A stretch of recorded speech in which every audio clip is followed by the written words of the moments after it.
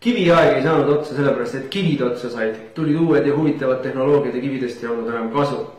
küünlatööstus hukkus pärast seda, kui välja mõeldi elekter.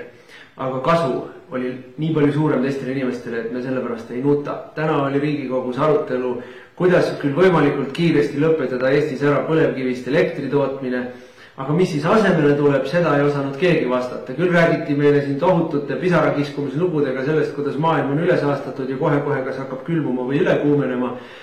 ainult et kui me siis nagu täpsustavalt küsisime, et mille peale ta külmub või mille peale üle kuumeneb, siis tuli välja, et see protsess on nii sada tuhat aastat kestev, et inimtekkega või CO tekkega vähemalt inimtekkelise CO tekkega seda siduda on väga keeruline, et mitte öelda soovmõtlemine.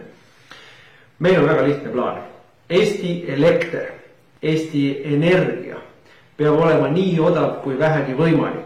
see kasu, mida inimesed on saanud odavast elektrist, mida see on teinud toiduhindadega, kuidas see võimaldab meil käia reisil soojadel maadel, kuidas see võimaldab meil kõigil saada selga riided, mis ei ole üle jõu käiva hinnaga. seda ei ole võimalik ühte lausesse või mõnda minutisse panna. ja nüüd meilt tahetakse kõik see ära võtta ja ajada elekter nii kalliks et me ei saa enam osta ei sealiha ega panna selga endale mingisugust sooja riiet. kõik selleks, et päästa maailma. Eesti toodab alla ühe protsendi Euroopas toodetavast CO kogusest ja Euroopa toodab viis protsenti maailmas toodetavast CO kogusest. meie CO kogus ei tee maailma ei koledamaks ega paremaks. veelgi enam, siiamaani ei ole keegi suutnud veenvalt kokku leppida või ära vaielda seda, kas see CO kogus siis on tõepoolest kliima soojenemise põhjustaja või mitte.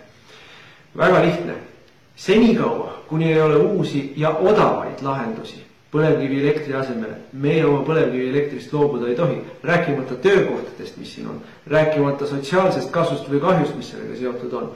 me räägime Eesti konkurentsivõimest me räägime oma jõukuse tasemest, me räägime sellest, et Eesti inimesed peavad saama oma kodu valgustada ja kütta niimoodi, et neil pisar ei tule silmast välja liiga kalli hinna eest. jah, kõik on olemas, tuuleenergia on olemas, päikeseenergia on olemas, juba arenevad ka akud, millega seda kõike üleöö või külma ilma või pimedaga eh, kasutada, aga see on kohutavalt kallis. Ei, senikaua kuni kuskil rikas ja teaduspotentsiaaliga meist ammu üle olevas riigis ei mõelda välja uusi ja odavaid lahendusi senikaua meie ei tohi oma põlevkivienergiat prügikasti visata.